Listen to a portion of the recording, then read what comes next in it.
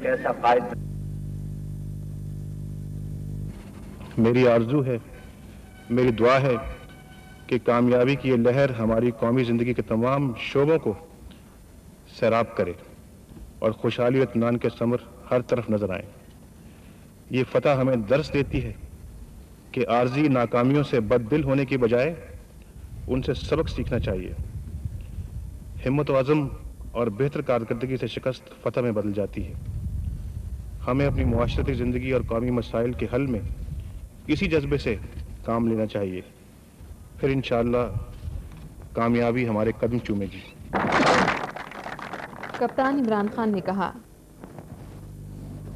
जिस चीज़ से मुझे बहुत खुशी है वो ये कि इनकी जो फाइटिंग स्पिरिट है आपने शायद देखा होगा जो शारजा कप वर्ल्ड कप से पहले एक कंपटीशन हुई थी उसमें यही हुआ, टीम ने पहले शुरू में बहुत बुरा खेली। हम हार रहे थे, हमारे सपोर्टर्स ने दिल छोड़ दिया, हमने नहीं छोड़ा। और इस फाइटिंग स्पिरिट के तहत वो हमने शारजा कप जीता। और फिर यही हुआ वर्ल्ड कप फाइनल पे। वर्ल्ड कप थ्रू आउट जब टीम इतना बुरा कर रही थी, और मैं आपको यकीन दिलाता हूँ कि बड़ी, इतना मुश्किल होता है टीम का उस उस डिमोरलाइज स्टैंडर्ड से वापस आना।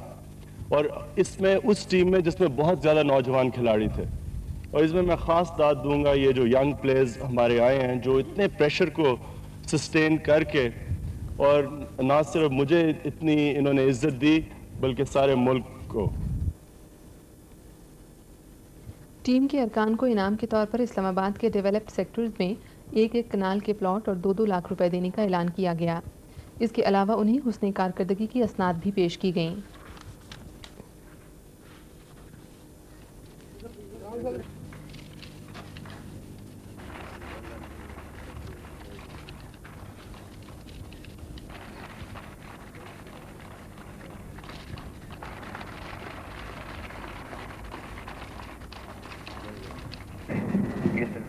क्या खिदमत अंजाम दे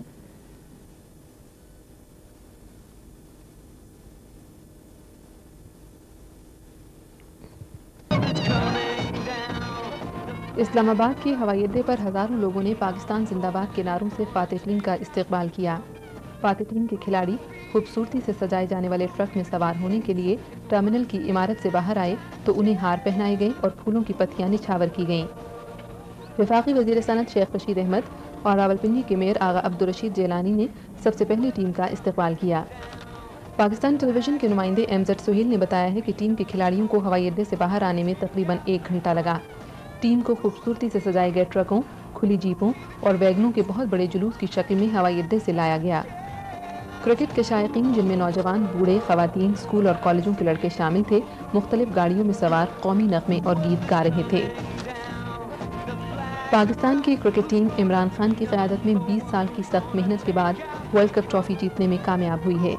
पूरी कौम इस अजीम कामयाबी पर हकीकी मानों में फ़ख्र कर सकती है। ट्रक में सवार खिलाड़ियों की पहली कतार में जावेद मियादात खड़े थे, जिन्होंने वर्ल्ड कप के कई मैचों में मुश्किल हालात के बावजूद पाकिस्तानी बैट्समैनों को हालात के मुताबिक खेलने पर उभारा। इस मौके पर इंजमामुल हक भी नुमाया थे, जिन्होंने एक इंतहाई अहम सेमीफाइनल में न्यूजीलैंड की बॉलिंग को नाकाम बनाकर रख दिया। वर्ल्ड कप फाइनल के man of the match Wasim Akram भी उसी कतार में थे, जिन्होंने सतासी हज़ार से जायद शायकीन के रिकॉर्ड हजूम के सामने फाइनल में इंग्लैंड की बैटिंग की कमर तोड़कर रख दी थी। वर्ल्ड कप में सबसे बढ़कर इमरान खान की बलबला अंगेज क्यादत थी, जिसने इब्तदाई नाकामियों के बाद टीम को सहारा दिया और उसे कामयाबी से हमकनार किया। हकीकत में ये टीम स्प्रिट थी, जिसकी बदौलत मेलबर्न में पाकिस्तान को कामयाबी हासिल हुई। क्रिकेट टीम शहर के मुख्तलिफ़ इलाकों से होती हुई रावलपिंडी क्रिकेट स्टेडियम पहुँची, जहाँ खचाखच भरे हुए स्टेडियम ने मेलबर्न के हीरोज का बड़ी गर्मजोशी से इस्तेमाल किया। फातेह क्रिकेट